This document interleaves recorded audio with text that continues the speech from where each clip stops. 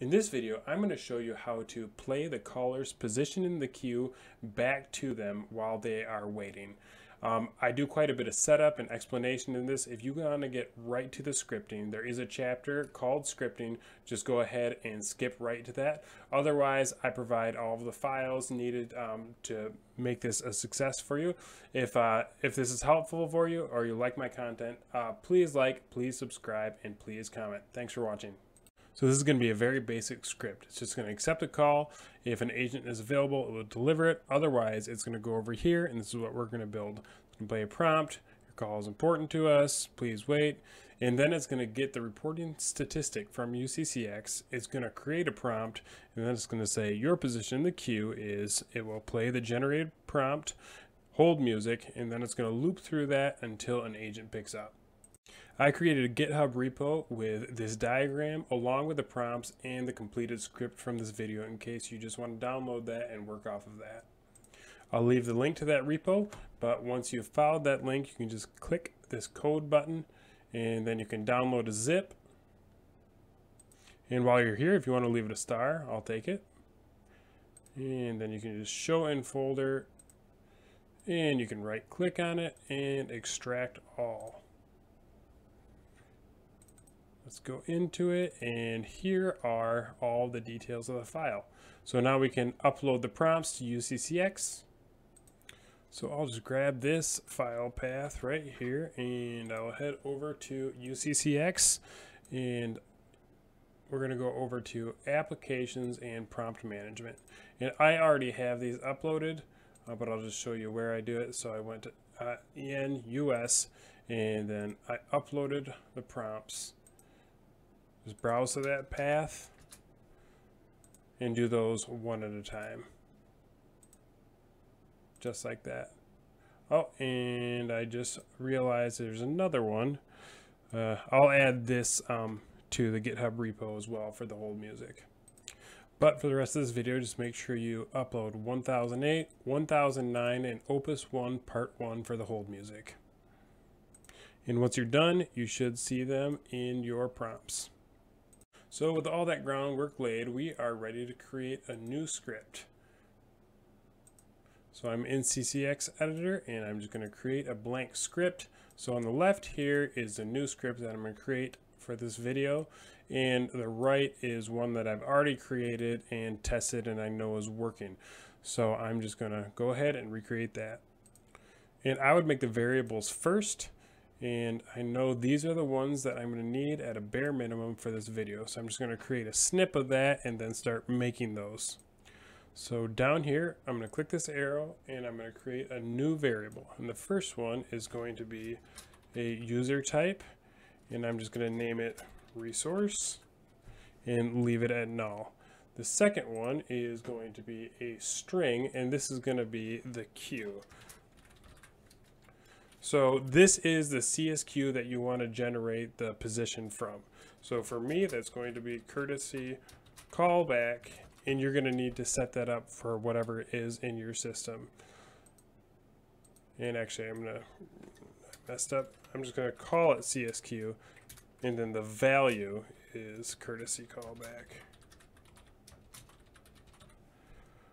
Okay, and the next one is going to be an integer and I'll name this one Q position.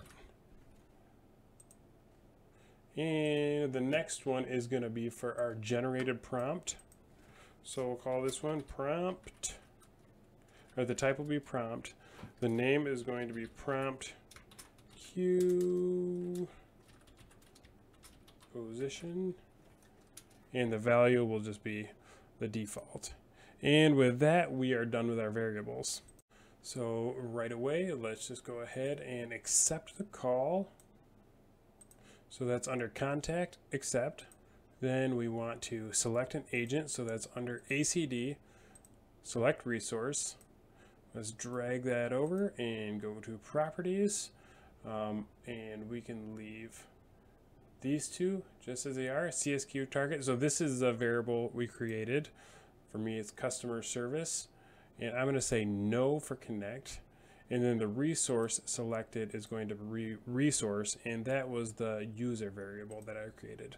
So then I'm going to go ahead and click apply and then if the resource is there and selected we'll just connect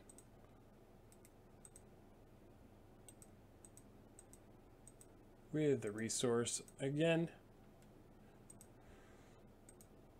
And if the call is connected or failed I'm just going to go ahead and create a couple labels just to wrap things up. I'm going to call this label end.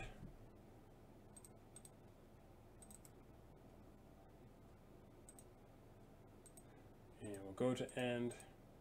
I'll just copy this and paste it okay so we have this whole call or this whole branch set up here on the left call queued no deliver to an agent and go to end so now we're going to start working on this part here where uh, the call is queued and no agents are available so if no agents are available, we want to play 1008. There are currently no agents available to answer your call. So let's go to that branch.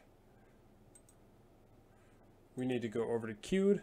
So over in queued, we need to play a prompt, which is under media, play prompt. Let's just drag that into queued.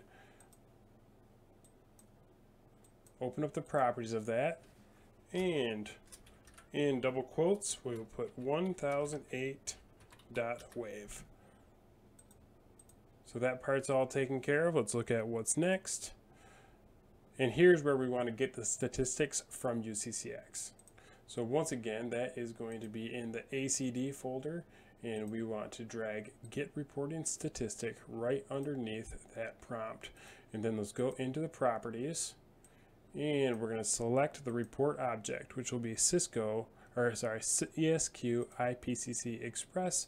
And the field we want is, let's see, position in queue. Look at that. The row identifier is going to be the CSQ, so our contact service queue. And then the re result statistic will be the integer that we created, which is queue position. And we'll click apply. And so now we have that number. We need to create a generated prompt for it. So let's go over to the prompt folder and do create generated prompt. Let's go into the properties of this and the generator type should be number and then arguments just double click this and then you can choose queue position the override language should be EN US, and the output prompt will be that um, generated prompt that we created when we were setting up our variables. So let's go ahead and click apply. And so we now have those available. Let's look at what's next on our flow chart. If I can find uh, Edge. Okay, so we got the statistic. We created the prompt. The next thing we want to do is play uh, prompt 1009, your position in the queue is, and then the prompt number, and then the hold music. So back in media, let's grab another prompt, right click it, go to prompt tab, double quotes, 1009 dot wave, and apply. And then we want, we can just copy and paste this actually. Let's go back into here. And here's where, for this one, we want to select the generated prompt. So prompt position in queue. So just uh, let's walk over that quick. So first we got the number, then we created a prompt where the system is basically saying the number that it got. And then, so that saved itself as a prompt, prompt queue position. Then this is your position in the queue is, and then this prompt will play the, the number that the system will read out. So now we just need to make another prompt that plays the hold music. So that's going to be the Opus one. So I'm just going to copy this so I don't misspell it. So double quotes. Opus 1 part 1 dot wave. And I'm going to apply. And so we've got all this done now. Next thing we need to do is just make a little loop. So back in the general tab, let's make a label. and we want to make it right after the first prompt is played so they don't hear that initial cue prompt every time they go through the loop and we'll just call this queue loop and apply and then also in the general folder we need to drag in a go to label so after the hold music is played we want to go back to the queue loop and I think that about does it. So now we need to validate our script. Go to Tools, Validate, and Script Validation succeeded. So I think we can now upload and test our script. So I'm just going to save this to my desktop. And I have it in, let's see, uh, I set up a folder already. So I'm going to call it Q Statistics Demo. I'll save it and I'm going to upload it to UCCX by going to Applications Script Management. And I actually created a folder already called Q Statistics and I'm going to upload it. And there it is. Open, upload and now I need to load that into an application. Um, if you do not have an application built already, I'll leave a link for another uh, video that I did that should get you all set up. So I'm doing the customer service one and I'm just going to look and here it is Cue statistics demo.aef. Now I'm just going to update it and the trigger is 6000. So let's go ahead and give this a test and see what happens. There are no agents available to take your call. Please continue to hold, and your call will be answered in the order it was received. Your position in the queue is 1.